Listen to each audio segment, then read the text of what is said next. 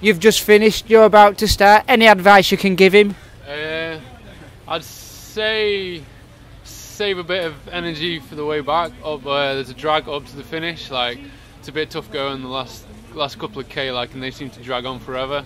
And maybe take it a bit steady around the corners because it's a bit bit slippy. It's a bit greasy, Yeah, he, he knows what he's doing. So You, you're not. You're dab and at the old time trialing, are you? No, no, I won't say that.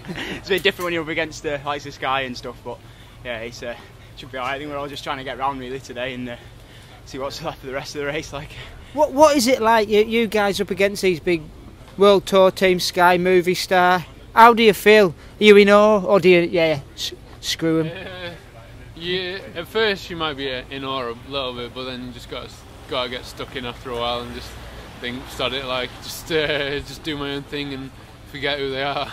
Yeah, they've got two legs, two heart. Well, two heart. No, they're not Doctor Who, are they? No, no. Two legs, Yeah, one heart, two lungs. that's it. Yeah, yeah, same for everyone.